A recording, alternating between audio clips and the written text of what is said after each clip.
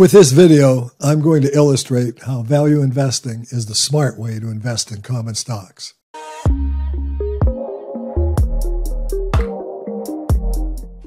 Hello, everybody. This is Chuck Carnevale, co-founder of FastGraphs, the Fundamentals Analyzer software tool, aka Mr. Valuation.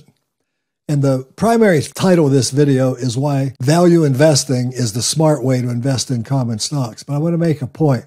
It doesn't matter whether you're investing for growth, value investing is a smart way to go. If you're investing for dividend growth, value investing is the way to go. If you're investing for high yield, value investing is the way to go regardless of what your investment objectives are, you should always be practicing value investing as the primary component of what you're doing. Now, there's some reasons for that, and I'll be covering those extensively throughout the video. Additionally, I'm going to utilize the FastGraphs Fundamentals Analyzer software tool to illustrate how effective value investing is as how it works so well for no matter what your investing strategy is. So let's go ahead and get into the video. In order to illustrate everything clearly as I possibly can, I'm going to go through the FastGraphs tool and I'm going to illustrate simultaneously to illustrating how important value investing is, how you can most effectively use the FastGraphs valuation reference lines, whether you're investing for growth, income or you know whatever strategies I mentioned earlier. So we're going to start out by talking about the formulas that we use. If a company's growth rate is 5% or less, FastGraphs will utilize what's called what we call the Graham Dodd formula, and that'll be designated by GDF. If we're investing for high growth companies, companies growing faster than 15% a year, we'll incorporate the formula that Peter Lynch made famous called PE ratio equal to growth rate, or PEG. PEG is how we'll list it on the graph. And then those are the two primary formulas that we use to draw the orange valuation reference lines, and I'll talk more about those here in a minute. And then the third formula is actually an extrapolation between the two, where we've taken and just adjusted our algorithm a little bit for companies that grow between 5% and 15%. And that's the majority of companies and that's normal. So in a lot of fast graphs, you are going to see a 15 PE ratio, which by the way represents a 6.67% earnings yield, which is clearly what my minimum threshold is.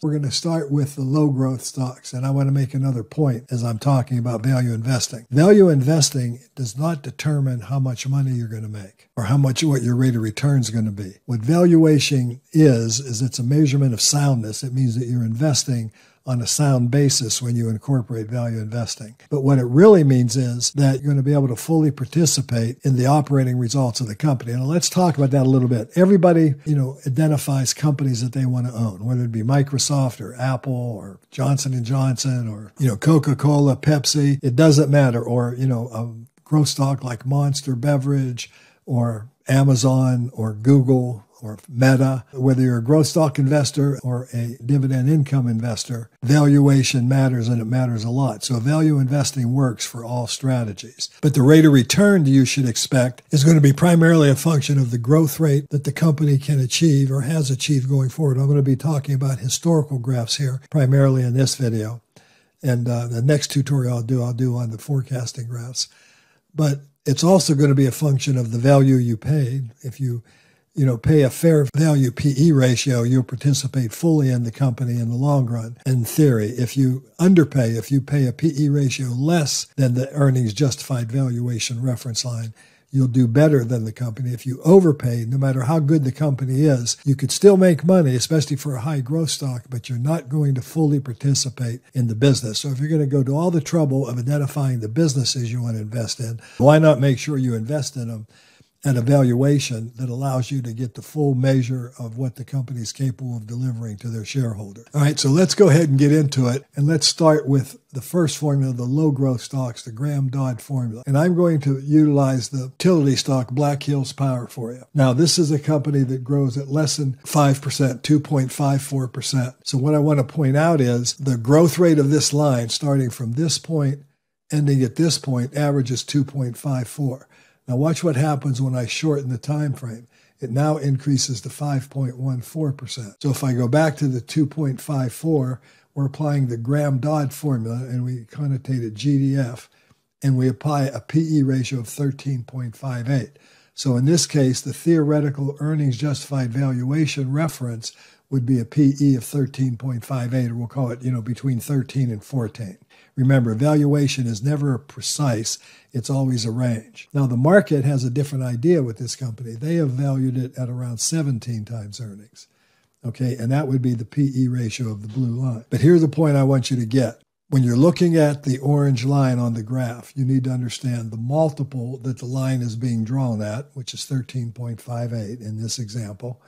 You need to be cognizant of the rate of change of earnings growth that the line represents over the time frame being drawn.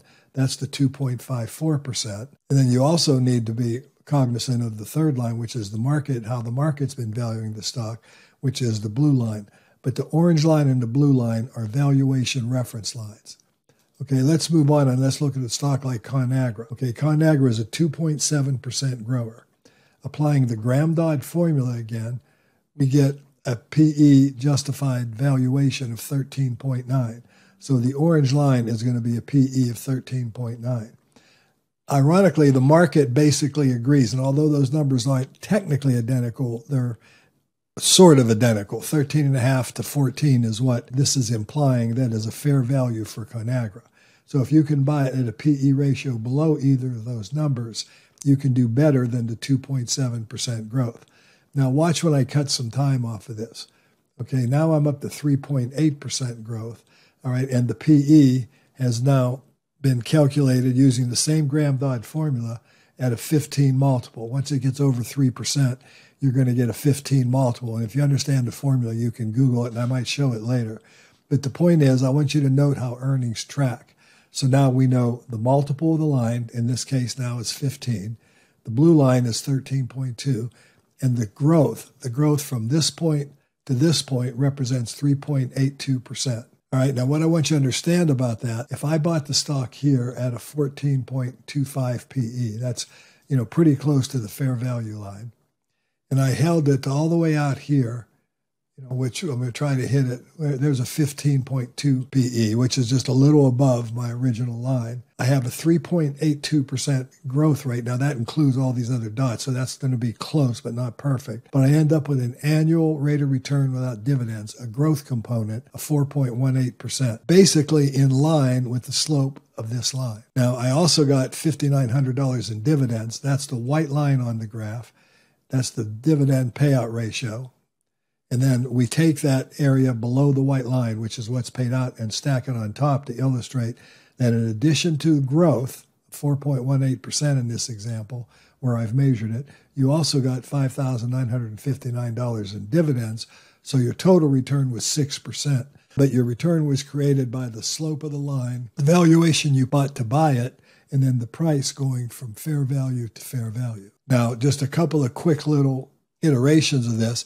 If I bought it when it was trading here at a six and a half PE, okay, on December 5th, 2008, you know, half the fair value reference, if you will, all right, and held it to the fair valuation that I did earlier, at least roughly there, there it is, I would have made 11%. So I've turned a 3.8% grower into an 11.5% rate of return. I got 9.5% growth because what I got was I got the 3.8 or 3.5 to 4% growth that this company generated at that time. Plus, I got the dividend income that the company was paying at that time. Plus, and this is a very important plus, I also got, you know, it started out with a dividend yield somewhere around 3 to 4%. That's where this line is here. But then I also got PE expansion. The PE went from 6.5 to 15. Now, I call that natural, you know, leverage. So, but the point is, my rate of return came from the function of buying it at fair value, seeing that stock move back into fair value, and follow its earnings growth over time, plus paying a dividend. Okay, looking at another one, Campbell Soup. You know, if I'm looking at the max graph, you know, this stock is a stock that has grown at a relatively slow rate of 3.6%. The multiple of my line is 15. The slope of my line is 3.63. If I bought the stock at a 15.7 PE here, which is just a little bit above the multiple that the orange line is drawn at, and I hold it to, you know, I'll try to get as close as I can to a 15.7 PE. That's close enough. I'm getting 5.49%. I got 3.4% growth. That's annual rate of return without dividends. That's consistent with the 3.63% general slope of this line. Plus, I got $9,486 in dividends. That, that gave me a 5.49%. But I bought the stock generally at value, just maybe tad overvalued. And I measured it. And this is why I always say measuring performance without simultaneously measuring valuation is a job half done. This is what I mean. I've got to be studying value to value. For example, if I buy the stock when it was mostly undervalued or the most undervalued it was on this graph, which is a 12 PE, and held it till it got up to a, you know, 23 PE, almost doubled the PE, I can make 16% holding this company with virtually no growth. All right, that's why valuation matters. But by paying attention to valuation, I'm getting the full measure. Now, with stocks like Campbell Soup and Edison International and Conagra that I showed you, these are low growth stocks. You know, if I look at these stocks, the 15 PE here, we got 14.9, okay, which is close to my 15. That's what the orange line is. We got a slope of 3.2%. And again, if I buy it, you know, at approximately a 15 PE and hold it to approximately 15 PE out here, I make 4.68%. I get 2.36% growth plus dividend. The growth of the business and the slope of the orange line if you buy at value is going to determine your return. If you buy it under value, you're going to get more return. And if you overpay for a stock, you're going to get a lot lower return. Here you actually lost money because you paid a 19 multiple for a company that's only growing at 3% a year. And then you ended up getting PE contraction going from 19 to 13. And you ended up losing about 20% of your money. You did get about 20% dividend. So you ended up breaking even. You eked out a 0.21% annual rate of return, but I'd call that dead money for five or six years. All right, now let's expand on this a little bit further. Let's go into the PE equals growth rate. Okay, I'm going to start with Fiserv. This will be the lowest grower in the group here. All right, and I like Fiserv as an example because it pays no dividend. All right, so I'm going to take the normal PE off the graph and the price for a moment, and I want you to see a quintessential example of a line that grows at 15.68%. Now, since that's higher than 15, I'm using the formula P equals growth rate. So the slope of the line is 15.68. The multiple of the line is 15.68. Okay. So now when I put the price on the graph, the weekly closing prices, I want you to see how closely those prices followed that line more or less, you know, up through 2013 where it started to separate. Okay. And then it separated, you know, all the way up into COVID. And then we had a flash crash during COVID. It rallied again.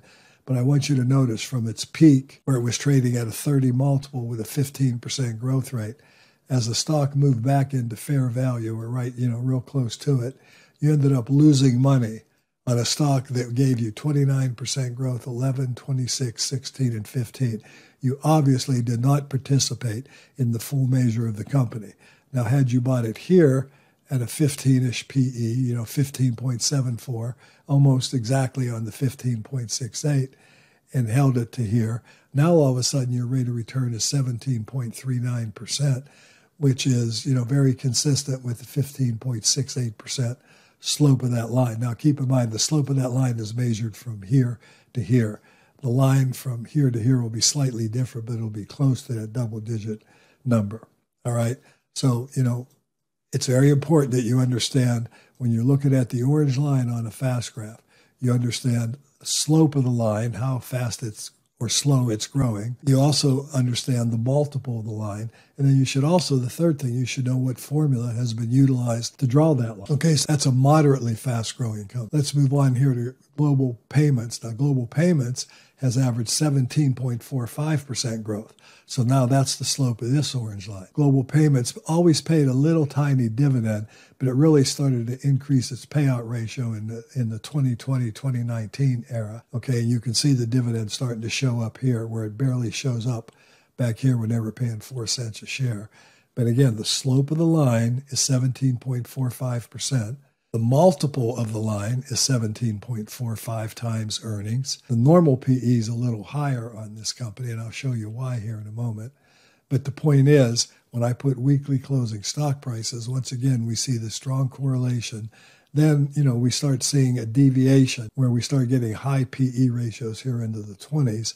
And once again, it peaked out up here at a 30 plus multiple, 33 times earnings, you know, coming into COVID. And then, of course, it ended up reverting to the mean. But I, interestingly enough, even though it's continuing to grow at double digit rates, a little slower than its historical average, we saw the stock fall all the way down to a PE ratio of 11. And this is consistent with a lot of payment processors that went through this.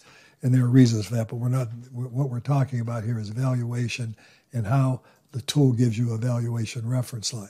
So when I look at a company like Global Payments without price, I'm recognizing that if I can buy the stock on this line, I'm going to participate fully in what the company delivers. If I buy it below the line, I'm going to get everything the company delivers plus a bonus of what I call natural leverage, a PE expansion. I'm going to get growth, dividend, and P expansion. And if I overpay for the stock, I'm not going to fully participate. So when I put price on the graph, you can see that when even back here before it peak valued, even if I'd have held it to here, my rate of return would only have been 4.5%, even though the company had put together some really spectacular years, although one weak year during COVID. And if I bought it up here, anywhere up here, and I'm not trying to hit the very top here, you know, I'd have been losing money on this stock, even though the company grew because I violated the rules of valuation. I overpaid for a great business here. This is clearly a great business, you know, with moderate debt investment grade credit rating and a very consistent rate of growth. And since they started increasing their dividend, they've had a nice little dividend record as well. All right. But valuation matters. That matters a lot. So here we're using slope of the line is 17.45. The multiple of the line is 17.45. Okay. So that becomes our fair value reference for a fast growing company. I move on to a monster long term. Now, this is an interesting graph. And what you see here we, we cap growth over 30% at a 30 multiple. So the orange line on this graph represents a 30 PE over this time frame. And you can see how the stock price has tracked that more or less. When it's below that line, it's a PE lower than 30. When it's above that line, it's a PE much higher than 30. But I'm going to now take off, I'm going to try to make this graph look a little more consistent. So I'm going to scroll back here and get rid of that dip, I'm going to go back to just about COVID here. All right, now I want to make sure you understand this. I'm using the P equals growth rate formula. I capped it at a 30 multiple because that's what we do. But now I've got a 39% growth rate. All right. And what I'm looking at is if I buy the stock at a 30 multiple, it's close enough right there, and hold it to a 30 multiple up here. That's pretty close. I'm going to participate fully in the growth of the business or as fully as I can. Now, remember, the growth is measured from here to here. Because what I want you to also see with a company like Monster, if I cut some time off of this graph, the growth rate actually accelerated. Now I'm using, you know, now I'm looking at a growth rate of 41. And again, I can, you know, buy it at a low PE and hold it out here to where it's trading there and I'm getting 22% a year. Because what happens is in the later years, I started to see my growth slow down. So now I'm using the PE of 19, which makes sense for this period of time. And, you know, if I move it forward, now that the growth rate has dropped down to 14%. I want you to understand that this is an analytical tool. And what you do when you change these time frames is you change the growth metrics of the company and therefore that changes the valuation of the stock. And stocks valuations can change over time okay as you're going through this. All right now the last ones i'm going to look at are actually the most common. This is where you're going to see the majority of fast graphs. Those very slow growers are relatively rare. The very very fast growers like i just showed you are relatively rare but the companies that grow at normal rates of growth, okay, are more common. So I'm going to look at one a little cyclical here. I'm going to do it in alphabetical order. I'm going to get rid of this crazy year here, okay? I'm going to try to make it more common. Now, what I've got, I've got 11% grower. So it's double digit growth, but that the formula, the Graham Dodd dot dot dot PG says that's a 15 fair value. The market says a 14 fair value, 13.95. All right, and what you've got here is a stock price that pretty much tracks that, and you can see periods of high valuation, periods of fair valuation, and periods of low valuation. But again, by paying attention to this line and buying the stock when it's in alignment with that line, is going to give you a rate of return that's going to be significantly correlated to the growth rate of the business. Now, you've got 11% growth, 11.14% growth, which is almost identical to 11.25. But then again, you got dividend income of $10,998. That shot you up to 12.41%. Growth component was 11. That allowed you to fully participate in the growth of the business. The income component is what they paid out in dividends here, these different payout ratios, the white line on the graph. And then the green shaded area is this white line simply laid on top of the earnings. And because it's laid on top of the earnings, it gets a little, you know, it looks up and down. But here you can see that it's been a very consistent dividend performer all the way. Moving on, if I look at Cisco, here I've got an 8% grower. This starts to get to be a very average company. And note that the PE ranges here, even the normal PE and the you know fair value PE are roughly at 15. 14.78 and 15. And you could see times when you know, if you bought the stock, you know, right at a 15 PE ratio, that's close, and held it you know, to pretty close to a 15 PE ratio, you get 9%, you get 7.45% growth, which is equivalent to the 7.94 with a slight PE ratio adjustment. The PE shrunk from 15.16 to 14.5. But then you got the dividend income of $6,300 and ended up making 9%. But it's the growth of the business and the growth in the income that it produces, plus the PE ratio expansion or contraction that's going to you know give you your, your total rate of return. What fair value did is just allow you to participate in the growth of the business. So valuation matters, as I often say, and it matters a lot. Now, moving on here, we look at NextEra Energy. I recently did a video. Again, you got the slope of the line is 9%. So, you know, if I take the price off and the normal PE off, this line is accelerating at, at about a 9% rate. That's going from this point to this point. You can see the difference. Some years are slower, some years are equal to 9, some years are higher. All right, but it averages 9.07% over this time frame. I knock a year off of that, now I'm at 8.62%, but I still have the 15 PE. The multiple of the line is 15, the slope is 8.62. I shorten it again at a different time frame. Now I've got 8.98% growth. I still have my 15 PE. Slope of the line is 8.98. Multiple of the line is a PE of 15. You know, if I put the stock price on the graph, all right, I can buy it here at a slight discount to its fair value PE of 15. I've got a slight premium, 17 there. So I ended up making 11.36%, which is my 8.98% plus the PE going from 13.5 to 17, plus $8,000 of income. I ended up with 13.8%. All right. As you change the graph, these numbers change, but they still produce a consistent valuation reference when you're looking at and evaluating these companies. Now I'm going to finish up with OMC. I put this one in here because I was asked to cover it. I want you to notice the market likes to put a premium valuation on this stock at times. So there's a range here of about a 15 to 16 PE. Again, if you buy it when it's, you know, in alignment, let me shorten that to a 14 year. We got a 6.8%. If I buy it, you know, at a reasonable PE here of around 15 and, you know, hold it to where it's still trading at 15 ish, you know, end up making 10% a year. I got 8.22% growth, and that's again consistent with the growth achievement the company generated during that time frame plus dividend income. The stock is now undervalued, okay, but if I'd have bought it when it was undervalued here at a PE of 13, I would have still made a profit, a growth rate of 4.57, which is now I got PE ratio expansion. But again, I'm positioned to fully participate. When this stock moves back into alignment with the orange line, I'll be able to get the full measure of what the company generated by buying it and plus a little bit more by buying it at a discounted valuation. So there you have it. There's why value investing is such a smart way to invest. But I want to talk a little bit about a couple other things here.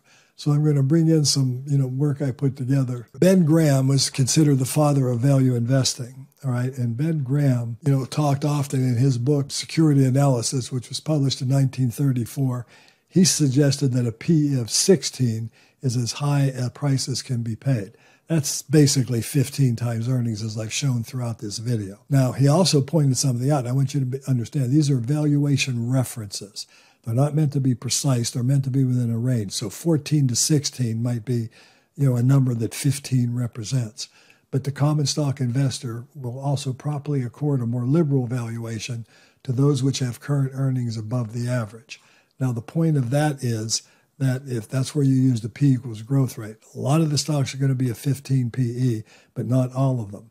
And he also, you know, popularized the Graham number, where he normalized the PE by a factor of 22.5 to represent the ideal PE ratio of no more than 15. Here's where he talks about a 15 PE and a price to book of one and a half. Okay, and there's the formula for the Graham number. But we also have the general PE ratio um, comments that, that Ben Graham made at other times when he was talking about, you know, fair value. Now, what's important about the fair value ratio of PE equals 15 is something I wrote about in, all the way back in 2019, where I talked about why a 15 PE ratio is fair values for most companies. First of all, it represents an earnings yield of 6.67%.